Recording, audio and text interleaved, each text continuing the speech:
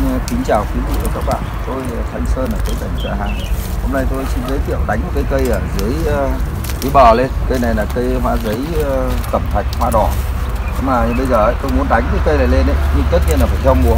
Hôm nay là mùa xuân ở Hải Phòng này. Đấy. Tất nhiên là tôi cũng nói vùng miền cho nó rõ.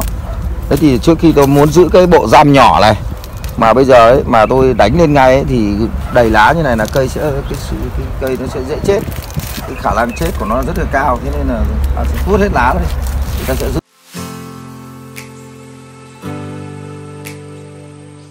giữ được cái răm nhỏ này thường thường tôi đánh xong ấy nếu mà không may nó có vỡ bồng ấy nó có trơ dễ ra ấy, mà ta tuốt hết lá rồi đấy thì nó vẫn có cơ hội sống. Đây tôi à, anh em tôi đang tuốt lá tuốt hết lá thì tôi đánh lên đánh lên rồi đem vào trồng.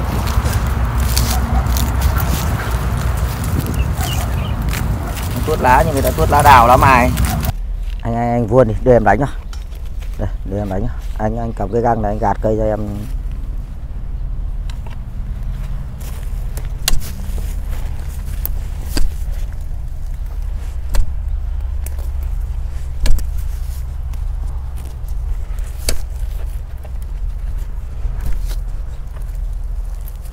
Rất nhỏ nhỏ này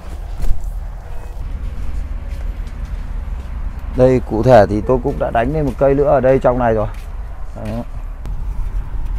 đất này đấy thì là chúng tôi lấy ờ, đất ruộng cũng được đất phù sa cũng được. Thế là chúng tôi ờ, phơi đi xong rồi cho chấu vào. Đấy, vào dùng sử dụng thêm một chút phân hữu cơ. Chúng ta ủ mục rồi chúng ta cho vào. Chúng ta xay ờ, hoặc là phay nhỏ ra.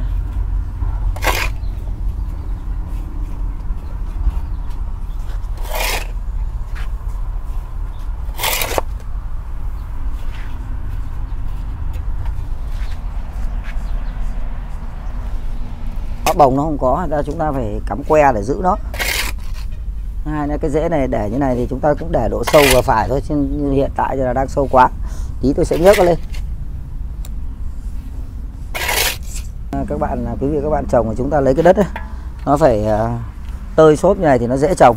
Chứ chúng ta toàn những cái đất mà nó, cái viên đất nó to bằng cái quả trứng gà mới lại bằng ngón chân cái mới lại bằng lắm tay thì trồng nó sẽ khó phải buộc chặt cây lại. Vì không khi cây nó động ấy nó động mà là nó lắc rễ dưới. Nếu mà cây nó vừa mới ra rễ con ấy là nó sẽ đứt rễ nó sẽ chết. À, vườn khi cây nó sống rồi đấy chúng ta cũng phải nhẹ nhàng để cho tránh đứt rễ đứt rễ con. Vì cây nó phát lộc xong rồi nó có ra được một chút rễ mà nó ra rễ đấy là cái sức ra rễ là nó nó sắp hết sức rồi. Mà chúng ta lại còn làm đứt nó là nó không còn nếu đứt ít thì nó còn có thể rất nhiều là nó không đủ sức để mà nó ra rễ tiếp theo. Trong cái cây này ấy, tôi lại phải để trong chỗ dâm à, chỗ căng lưới hoặc là trong các bạn có thể để trong hiên nhà. À, chúng ta che che lắng cho cây. Nếu mà bị lắng trực tiếp vào nó sẽ cũng không chịu nổi. Nếu mà chúng ta làm nó này nó mất công một chút nhưng chúng ta được một cái cây này nó có răm luôn. Còn nếu mà chúng ta cắt cụt đi nó cắt cụt sâu xuống dưới này chỉ để lại vài cái cành thôi thì chúng ta không cần đến nỗi tức là cũng trồng cũng vẫn phải cho vào trong dâm, nhưng mà nó cũng đơn giản hơn. Nhưng mà sau này chúng ta đợi được cái bộ răm này mà nó nhiều cái cành con như này chúng ta thậm chí ờ, hai năm ở trên chậu chưa chắc chúng ta đã làm được bộ răm này. Nhưng dưới đất thì chúng ta có thể chỉ một năm đã có bộ răm này rồi. Thế mà đưa lên mà chúng ta mất bộ răm này thì cái công ta cho đất thì lại phí công.